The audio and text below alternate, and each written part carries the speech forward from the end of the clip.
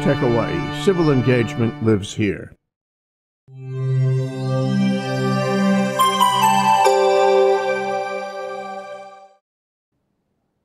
Hey, hello, and welcome to Stan the Energy Man on Friday. Thank goodness it's Friday. This week seemed like it was never going to end for me. I won't get into any more details than that, but it was a tough week for me. Anyway, uh, also ending up pretty recently is the legislature, which is kind of wrapping up its uh, season right now. And so uh, I've asked several legislators to come on and, and, talk to us about energy bills and things in the legislature. And the first one to pop up was uh, Senator Gil Riviere from the North Shore.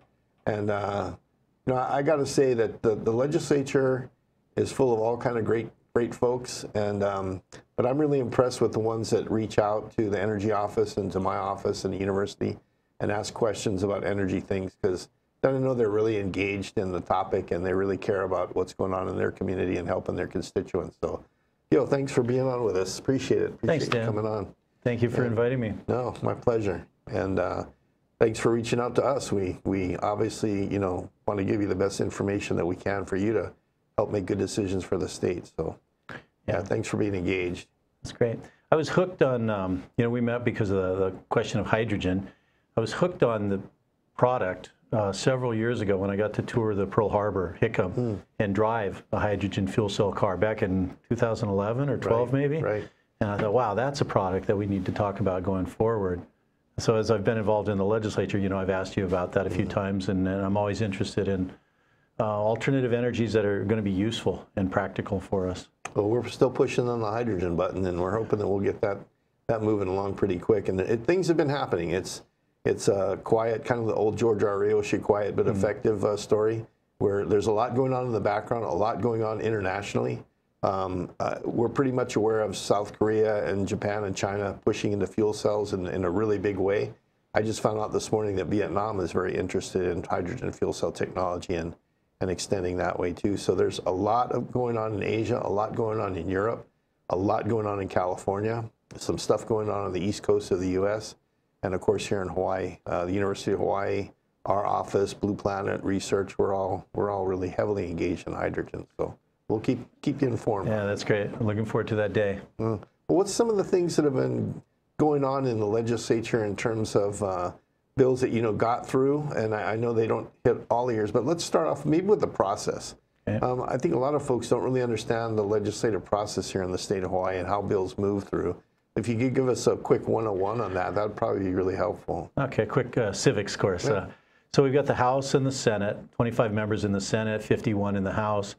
And um, we, when we introduce bills, sometimes a bill will be introduced um, in each chamber. It'll be the same identical bill, so it'll be called a companion. Um, for example, I work with uh, Representative Sean Quinlan in my area for some bills, and Rep. Kalole or Rep. Uh, Matsumoto, the different representatives I work with, and we may introduce matching bills. And then depending on the, the pace and the um, activity in, of the committees in either of the chambers, a bill may get some traction or it may stall out. So it's good to have those two right. sets of uh, bills to, to get them through, yeah. Um, so they have to pass through each house, and so they cross over. So when the Senate is done working on a bill, we have to vote on it three times, plus it has to go to committee. It's in the committees where the public gets to testify, and um, the, the testimony is actually very useful, because we'll have these lofty ideas sometimes, and we'll say, well, I think we can fix X, Y, or Z with this bill, but we don't see all the repercussions. So the experts or the people that are involved in that business, that industry, that technology will come in and testify, help us punch it up and make it a better bill. And that's why it gets modified along the way. Yes, and so sometimes it's a completely different bill by the time it comes out the other end, um, notwithstanding the, the infamous gut and replace. Uh, but there's bills sometimes where it starts to do something, and by the time it gets to the end, it, it accomplishes generally the same thing, but it may look very different. So the Senate will uh, work on it for the first month and the House simultaneously.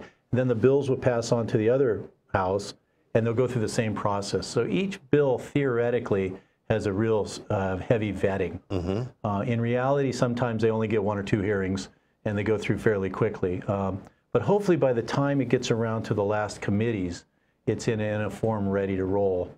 Um, I serve on the Ways and Means Committee, which is the Senate Money and Budgeting Committee. So anything that has to do with money appropriations, um, et cetera, will come through Ways and Means. So I have a chance to uh, have, a, have a broader perspective of all the bills moving through.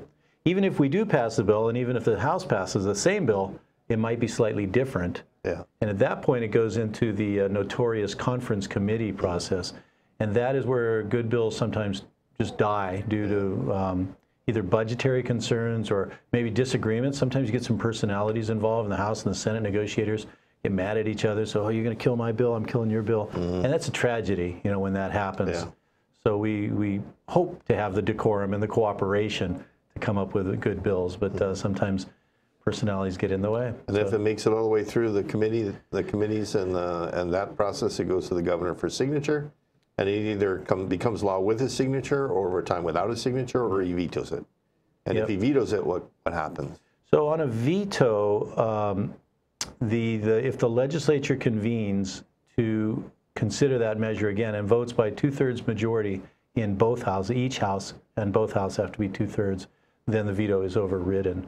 Um, now, interestingly, I believe the first governor's veto override did not occur until towards the end of Governor Cayetano's administration. So up until then, if the governor vetoed it, the legislature just let it lie and maybe picked it up the next year. But since then, now anytime we hear uh, veto, uh, my colleagues, we start talking about we coming back, we coming back. So uh, it's it's uh, interesting power play between the you know the gov- the branches of government. Well, thanks for that um, quick civics lesson, because I know that a lot of us paid attention in school, but it's been a while. Yeah. and it's good to always look, look at the process again. And I'd like to emphasize too, like you said, getting down and, and submitting testimony is important. I, I've, uh, for most of my life, underestimated the interest that the, not only the state legislature or the county, um, the county councils and stuff, but also the congressional offices have in hearing from citizens. You know, everybody thinks they're too busy; they'll never listen to me. They've got other stuff to do. Um, but you'd be quite surprised if you haven't tried it already. Go talk to your legislator. Um, they want to listen to you and they want to hear your input. So I would definitely encourage. I think that. most of us do. Sometimes you'll have a legislator with a plan. They got a plan. Yeah. And get out of the way. We're, we're going forward with this. And so sometimes uh, the, the public can be frustrated because they'll say, man, I gave them all these good reasons and improvements, and they just wouldn't listen to it. But Mm-hmm. again, on balance, you know, we're all trying to do good bills and get stuff through. And we, we take the, the input and hopefully come out with a good product at the end. And, and I know too, a lot of times I'll have a great solution for something, but I'm not seeing the finance side, or I'm not seeing the social implication side, or I'm not seeing the impact to people who have less income than me, or more income than me, and or a business. And those things all come into play. So even though I might have a great idea and I bring it to you, you, you can go pat me on the head and say, Stan, I appreciate your input, but we can't do that. And, and that's okay too, as long as it's explained and people understand they're not being ignored. They're, they're just Yeah. being told there's other factors at play there. And that's why it's good to go through two or three different hearings in each, Right. each chamber um, to get the vetting to, to work on it. and hear what other people are saying too.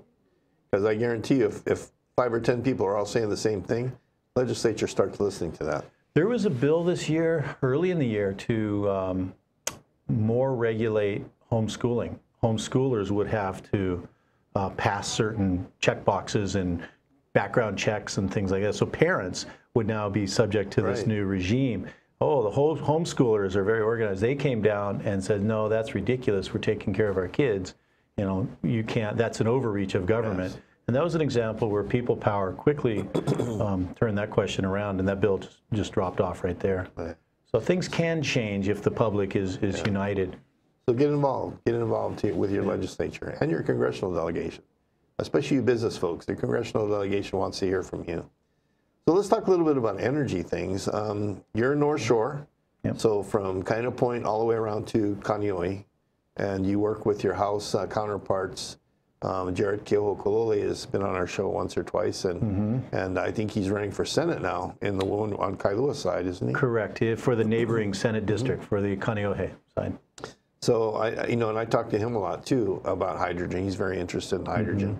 And um, so, what are some of the things that you know? And I, I, like I said earlier, I don't want to talk about specific bills necessarily, but you know, have different categories of bills like tax incentives and things like that. Yeah. Have you seen anything in those categories like tax incentives or or um, standing up new offices or anything that actually made it through uh, past. I mean, if it hits Ways and Means, it's it's practically through the gauntlet. So um, things that made it at least past your your committee that C- couple of bills that, that went through. There's a, uh, a matching program now. We, we um, appropriated $2 million for the uh, HTDC, high tech, devel- you guys, um, to, uh, to match federal uh, grants, so to, to double the um, um, viability Terrific. of, uh, of funding. So there's $2 million this year to match programs to uh, research alternative energy projects. Because a lot of times, we again, back to the great ideas, but you need a proof of concept. And so that's a bill, I think, uh, it's not a giant infusion of money, but it's, it's, I'm, I know it's going to help get some projects off the ground. We have another project, you know, the GEMS. Remember the GEMS project, this uh, green energy Right. systems. And, and a few years ago, the idea was let's let's set aside 50 million dollars, and we're gonna we're gonna support uh, people who cannot afford to put solar on their roof. And and it was a great idea that was just a little bit late, because as solar uh, penetration hit certain thresholds, um, Point Electric got a little anxious about the stability of the grid. They imposed uh, some new uh, restrictions, and suddenly the, the solar roof installation has, has, tapered off quite a has bit. dropped off a lot. So now we've got this $50 million that we're paying, on- we borrowed, and we're paying Uh-huh. money on it, and it's been sitting there for a few years without any good use. Uh, so I think this year we did something um, that's wise under the circumstances is we've turned it now and not just for private or uh, individual lending, but we can actually now use that money for schools, for example, um, buildings, uh, government buildings. 52% of the electricity used on this island is by uh, commercial and, and government. And so now if we can use this money to help um, put solar on every school roof, for example, we can save as much as you know 38 million dollars is spent on electricity by the Department of Education. So that money is now getting reappropriated or now being uh, made available. Um, so it's more available for. It's more available for larger users Okay. to do a bigger impact on getting to renewable Yeah, but- sources. yeah, that uh, that always made me wonder. or Initially, they were talking about twenty thousand dollars here and twenty five thousand dollars there, fifteen thousand. I'm like, that's going to take a long time to get to fifty million. That's that's a pretty small bite out of that apple every day. So going to the larger uh, projects is probably a good idea. So I think so. I'm Let- glad let's that- let's support that, Okay. and then the monies that are are saved uh, through the utilities savings, the electricity savings, can then go back in to refund uh, the program. So let's Mm-hmm. Okay. let's hope this gives it a kickstart, and it's not just 50 million bucks sitting doing nothing. And then we had another bill, if I remember, that was talking about something going to the PUC on on a performance-based rate, um, you know, structure for the electric company. What's that one about? There's been, um, you know, the um, the utility companies get paid based on how much stuff they own and how much money they got to spend to maintain their their system. So there's been this perverse incentive where if they have a little bit of extra money at the end of the year, they go buy more trucks or something because then they have a bigger base to maintain, and therefore they need greater rates to support that. So the whole purpose of the public utilities is to provide a stable, in this case, electricity. Um, the incentives are in the wrong place. So over the last several years, the Public Utilities Commission has been working on performance-based uh, programs to to try to unhitch that um, uh, adverse incentive. And this year, we passed a bill that will uh, actually expedite that and then require the Public Utilities Commission to get to that day sooner where they break the cycle of uh, revenue and spending altogether, but more like stable electricity generation and more alternative renewables. And, and so I think that it's So going to go in the right point- direction. At this point, is that then that just kind of directing the PUC to get the study done faster, or I mean, is it actually going to um, direct the PUC to implement, or is it more to just do the homework and, and make sure we're doing the right thing? Well, the PUC is already working on certain modules of, of this bigger um, and complicated grid and, and energy production and reliability and resiliency. Um, so they're working on parts of it. This one requires them to, to get it done on a bigger, on a holistic level, and then and give a path forward on how are we going to break that cycle of just spending irrespective of you know our energy change. Because I think most people understand and most people support going to renewable energies.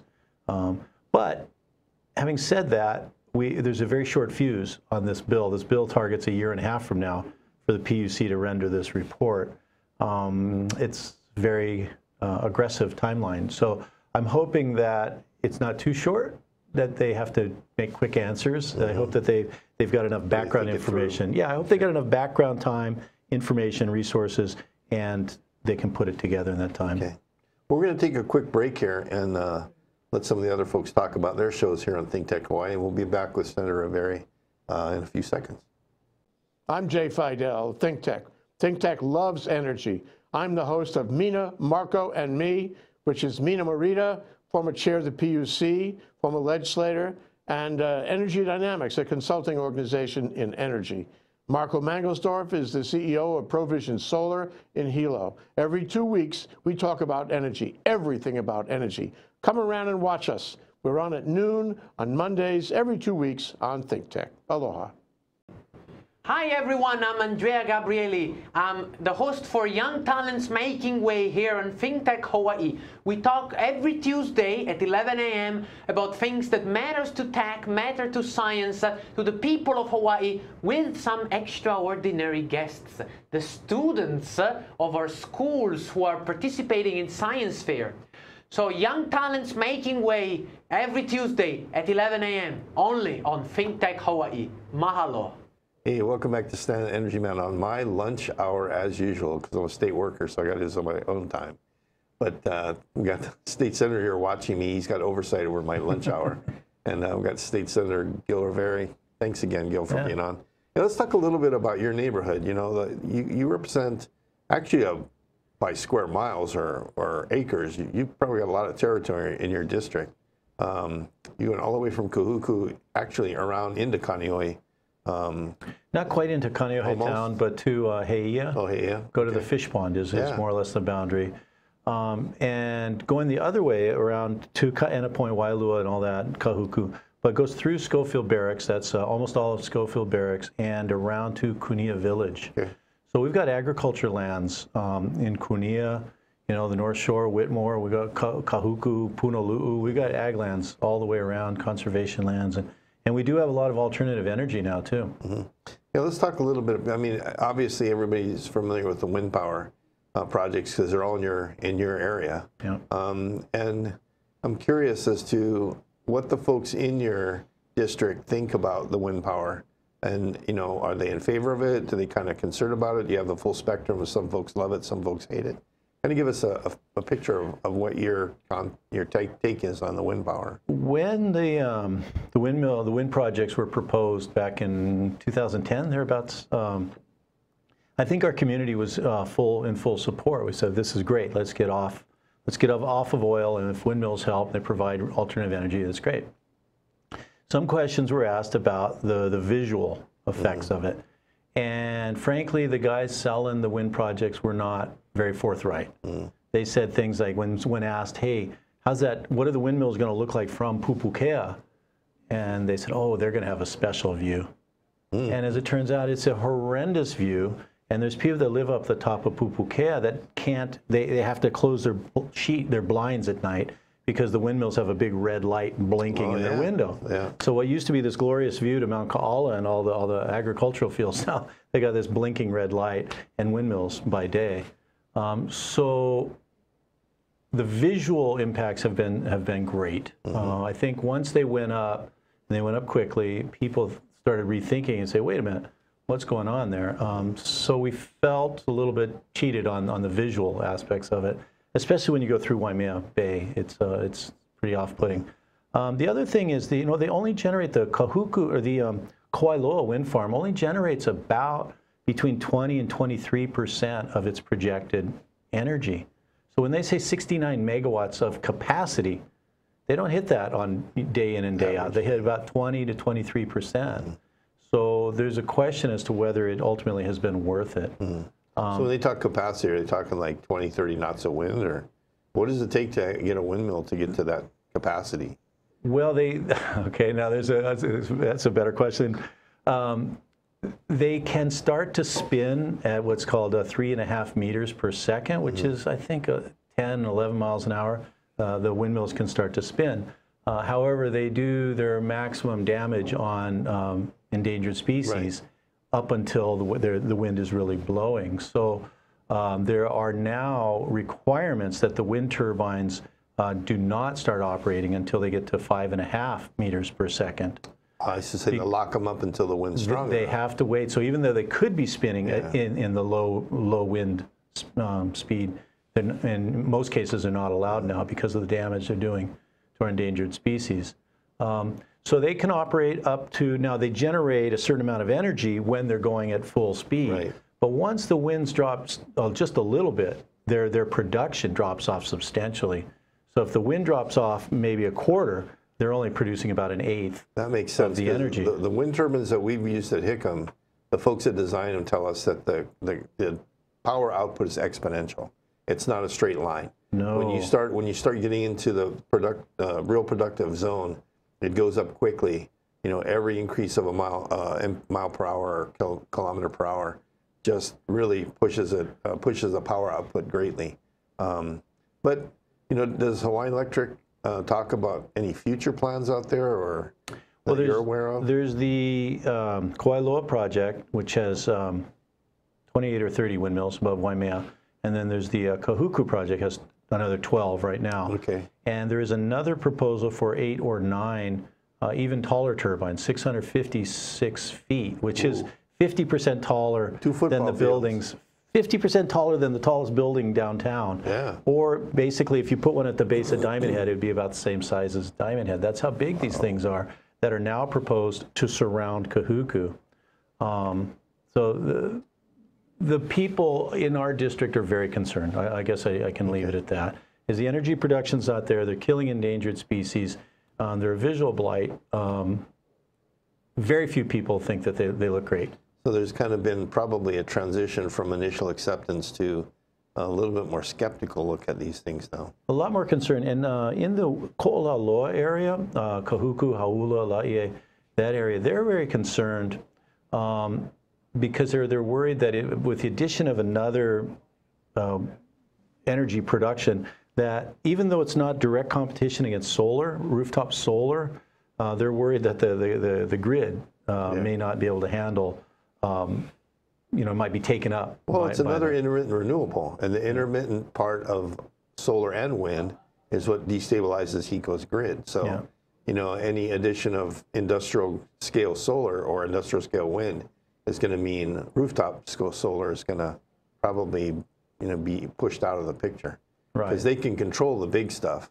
Right. And it's harder to control everybody's individual rooftops. So, uh, it sounds like we have some work to do with with everybody involved to come up with some good solutions. And there's a bit of an equity question too, and, and I've talked about this. There's a there's a concept called uh, environmental justice. The folks in Kahuku, I think, are overwhelmingly opposed to any additional wind turbines because they've already got them, Right. and now they're going to be expected to take more. And I think it's unreasonable for their position to be ignored. Yeah, I agree. And so I've been a real strong advocate to advocate down downtown here, and uh, it's not right for um, Honolulu to tell everybody else where you know what they have to do. Well, I- I'd like to push to your constituents, again, make yourself available. Come down and do, do some testimony at the legislature. Don't let your state senator sit there and take the brunt of the, of the fight by himself. You folks are the one he's fighting for, so get down there and help him out. Uh, that's, that's important. The, when the people show up makes a difference, and I think people underestimate their, their power. Well, that's one thing, um, Stan. We we got a, a very great community. We we we do stand up, and you know we do protect the, the North Shore and the windward side. So we're, we're strong in that. But you're right. Your your point is still well taken. That we do need to um, make ourselves heard. Yeah. And um, fortunately, in the past, we have been very good at that. You know, protecting the North Shore. What are some of the other good things going on in your area? Are you familiar with what's going on at Schofield with um, the military? There's a new power fi- 50 megawatt. Yeah. Um, when's that? The opening is coming up. It's pretty soon. I Yeah, think. it's real soon. Yeah. we, we were talking to HECO recently, and they're excited about that project coming online. yeah. Um, is that being pretty well accepted in the neighborhood? Uh, yeah, that one's not being talked about too much. It's it's on base. Uh, it's uh, you know it's base load, right? It's firm firm power. So that's that's pretty good. And back to one more thing on the windmills Okay. and and solar for that matter is you have to have a base load somewhere Yep. for when that wind even the, even when the windmill's spinning at full speed, you've got to have right now oil-fired generators spinning in neutral, burning oil, Just in case. but not making electricity, just in case. So we look at the windmill, we say, "Wow, that's clean, green, and wonderful," and we don't think about the the wind, the oil we're burning. Just a suggestion, and this comes from our microgrids at Hickam. We're looking a lot at um, at um, flywheels, and I know HECO's got a project with uh, with one of the local companies that's doing flywheels. That's your, absolutely your spinning reserve. Instead of running a generator, mm-hmm. whenever you have surplus electricity, you spin up that flywheel, mm-hmm. and you keep it spinning. And when it's in neutral, it's got it's got zero friction bearings. So once you get it spinning, it just keeps spinning. And then when you have that load that's unexpected, that thing kicks in really fast and takes up the load. So you don't have to run a generator in conjunction with your wind turbines to do that spinning reserve piece. And so that's that's something that I, I would say maybe your constituents and yourself could ask HECO to look more into is Yeah. spinning reserves that, that are actually more mechanical than battery or generators. That's great. That's uh, exactly the kind of solution that we need to, to fill that load. And we need some sort of storage, and because we can generate a lot of solar power during the day. Right. Uh, we've talked about this, and I think it's really important. I think with the surplus solar, we should be making hydrogen. I agree. Um, we take uh, water and we make oxygen and hydrogen. I mean, that's pretty good. Yeah. Uh, and then we can fire that up in our, in our cars, our fuel cell cars. We can turn the lights on. We can cook Yeah.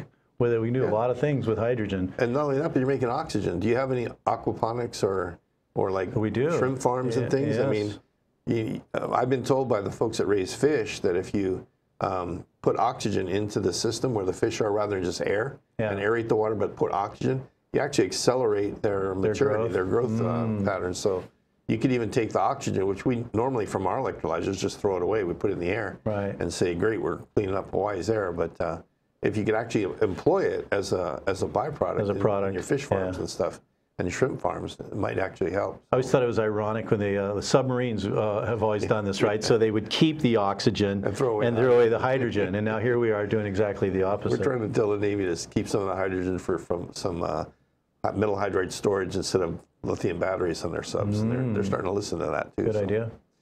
Well, believe it or not, Senator, we're at the end of our show, and I Mm-hmm. appreciate you being on. And uh, I hope that all, all of you will join us uh, next week for Stan the Energy Man, and we'll try and get some more uh, folks from the legislature on to give us their side. But remember, you know, your voice means a lot down at the legislature, so don't hesitate to write your, your representative or your senator, and especially when it comes time for testimony, show up down there and show the committees exactly what you think. Until next week, aloha.